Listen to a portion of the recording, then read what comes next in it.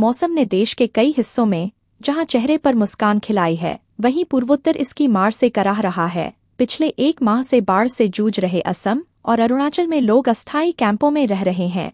असम में करीब तीन लाख से अधिक लोग प्रभावित हैं, और अब तक साठ से अधिक लोगों की मौत हो चुकी है। लगातार हो रही बारिश से ब्रह्मपुत्र नदी में पानी बढ़ गया है, जिससे कुछ दिनों संभलने के बाद रविवार को बाढ़ ने फिर विकराल रूप ले लिया, और नगाम डिब्रूगढ़ समेत दर्जन भर ज़िले पानी में डूब गए लोगों के घरों में घुटनों पानी भरा है। एनडीआरएफ की टीमें उन्हें सुरक्षित स्थानों तक पहुँचा रही हैं।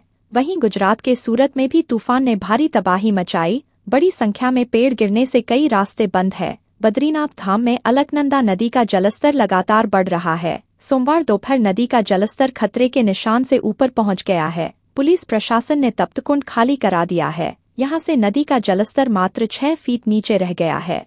नारदशिला और वारहशिला पानी में डूब चुके हैं। पुलिस ने पूरे धाम में यात्रियों व स्थानीय लोगों को अनाउंस कराकर सतर्क किया। साथ ही तप्तकुंड को भी खाली करा दिया गया है। ऊपरी क्षेत्रों में हो रही बारिश से पिछले कुछ दिनों से अलकनंदा नदी का जलस्तर लगातार बढ़ रहा है। सोमवार को अपराह्न बद्रीनाथ धाम में अलकनंदा का जलस्तर तेज़ी से बढ़ने लगा। देखते ही देखते पानी तप्तकुंड के पास बहने लगा। शाम साढ़े छह बजे तक तप्तकुंड से मात्र छह फीट नीचे अलकनंदा बह रही थी, जबकि सामान्य दिनों में अलकनंदा तप्तकुंड से करीब पंद्रह फीट नीचे बहती है।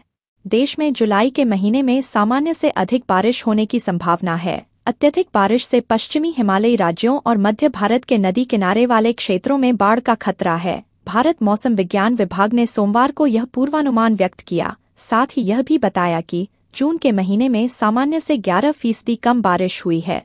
आईएमडी के महानिदेशक मृत्युंजय महापात्र ने वर्चुअल प्रेस कॉन्फ्रेंस में कहा कि पूरे देश में जुलाई में औसत बारिश सामान्य से अधिक होने की संभावना है। यह अट्ठाईस दशमलव शून्य चार सेंटीमीटर दीर्घ अवधि औसत एलपीए के 106 फ़ीसदी से अधिक है। उन्होंने कहा कि पूर्वोत्तर भारत के कई हिस्सों और उत्तर पश्चिम पूर्व और दक्षिण पूर्व प्रायद्वीपीय भारत के कुछ हिस्सों को छोड़कर देश के अधिकांश हिस्सों में सामान्य और सामान्य से अधिक बारिश होने की संभावना है। आईएमडी प्रमुख ने कहा कि पश्चिमी हिमालयी राज्यों में सामान्य से अधिक वर्षा के अनुमान का मतलब है कि हिमाचल प्रदेश, उत्तराखंड और जम्मू कश्मीर के साथ ही पश्चिमी हिमालय के तराई वाले इलाकों में अत्यधिक वर्षा होगी।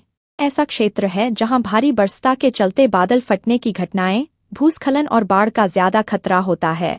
इन राज्यों से कई प्रमुख नदियाँ भी निकलती हैं। मध्य भारत में अधिक वर्षा से गोदावरी, महानदी और अन्य कई नदियों में बाढ़ आने का खतरा है। आईएमडी के आंकड़ों के मुताबिक जून के महीने में देश भर में एक सौ सैंतालीस दशमलव दो एमएम वर्षा रिकॉर्ड की गई, जो सामान्य एक सौ पैंसठ दशमलव तीन एमएम से कम है। 2001 के बाद से सातवीं बार जून में सामान्य से कम बारिश हुई है। देश में चार महीने के मानसूनी सत्र के दौरान दर्ज वर्षा सत्तासी सेंटीमीटर में से जून की बारिश पंद्रह फ़ीसदी है। इस साल दक्षिण पश्चिम मानसून ने केरल और पूर्वोत्तर क्षेत्र तय समय एक जून से पहले ही 30 मई को दस्तक दिया था। महाराष्ट्र तक मानसून सामान्य गति से आगे भी बढ़ा है, लेकिन उसके बाद उसकी गति धीमी पड़ गई।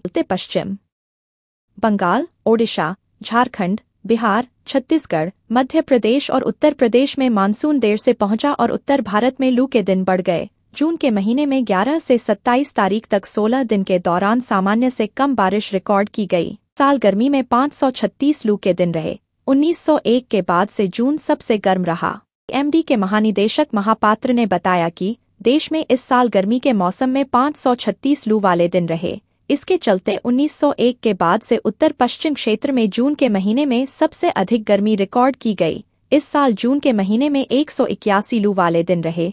इससे पहले जून 2010 में 177 लू वाले दिन देखे गए थे। उन्होंने बताया कि उत्तर पश्चिम भारत में मासिक औसत अधिकतम तापमान अड़तीस दशमलव शून्य दो डिग्री सेल्सियस रहा, जो सामान्य से एक दशमलव नौ छह डिग्री सेल्सियस अधिक है। वहीं औसत न्यूनतम तापमान पच्चीस दशमलव चार चार डिग्री सेल्सियस रहा, जो सामान्य से दशमलव तीन पाँच डिग्री सेल्सियस अधिक है।